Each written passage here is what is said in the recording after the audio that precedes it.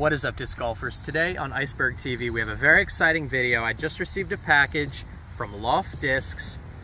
We finally have the new Silicon, the overstable mid-range. I was able to get my hands on a Founders Edition and then an Alpha Solid blue one which looks absolutely amazing.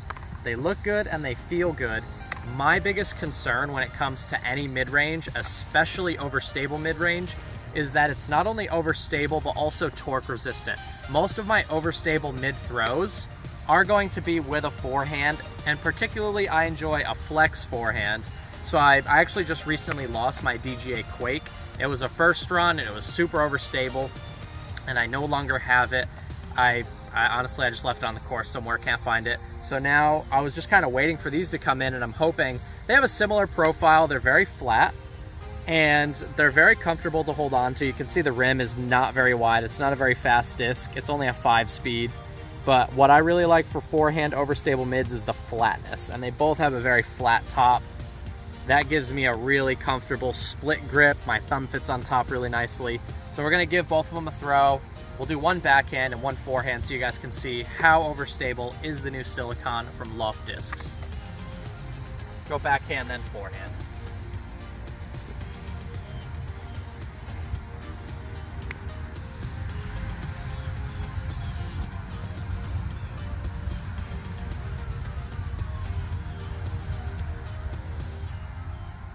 Just as we expected, um, an overstable mid on a backhand. My backhand's not super torquey, so I don't really tend to turn my mids over too much anyway.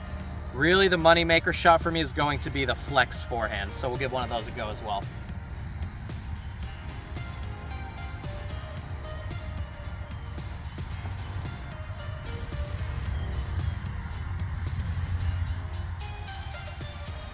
So this can be something that you know, is a concern for me when I I, perf I prefer my overstable mids to be able to handle the torque with a little bit of anhyzer and an optimal overstable mid will actually flex out for me a little bit on a line like that. We'll grab them and we'll throw them again and I'll put a little bit less angle on it. I'll just try it flat, but ideally my overstable mids don't have turn. They should be working to fade the whole time, and that's gonna be that money flight for that flex forehand shot that I'm looking for. So we'll walk over, we'll grab them, we'll throw them back this way. I'll probably just go double forehands flat. We'll see if we can't get a little more desirable flight out of the forehand.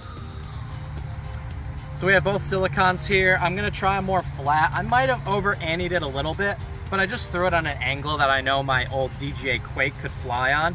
This disc is a 5403, so the idea behind the disc is that it's going to start trying to fight out immediately. The goal of this disc is to fade. And on, on a less torquey backhand throw, that is definitely the case. And it's really great for backhand. But a lot of people should be aware that forehands contain a lot more off-axis torque on the disc, which can cause the disc to turn more than a backhand throw for most players. So we're gonna try them flat. Hopefully they don't turn. That's my that's my nightmare is that if these turn. If it just fades, then I'll be happy.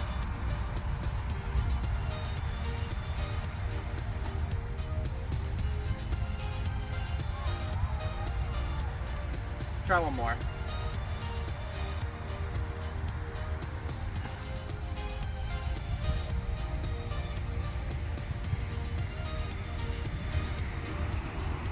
Was a little bit better. Honestly, I don't love the fact that it, when you throw it hard with that little bit of torque, even hard and flat, it's wanting to pick up and go to the left a little bit. It reminds me a lot, not nearly as bad, but like the Paul McBeth Malta when it first came out, I was, it's supposed to be, it was supposed to be a plus one turn and like a three or a four fade. And I would forehand it and it would just pick up and turn. And I, I don't want that out of an overstable utility disc. I want to know with 100% confidence with no matter the release angle, that disc will be fighting to go right on a forehand and left on a backhand. I'm definitely going to continue to play with the Loft Disc Silicon, and I really appreciate them sending it out to me. It's going to be a really great backhand overstable utility disc, and I'm going to toy with it as a straighter option for my forehand. It really just wants to carry straight. It doesn't want to fade super hard. In my opinion, it doesn't fly like a 0.3, kind of flies more like a 0.2. So a little bit more straighter than advertised, but that's not necessarily a bad thing. but in comparison to the flight numbers, I think it's a little straighter for me than advertised. With all that being said, comment down below. Don't forget to subscribe to the channel, hit the like button. You're watching Iceberg TV, and take care.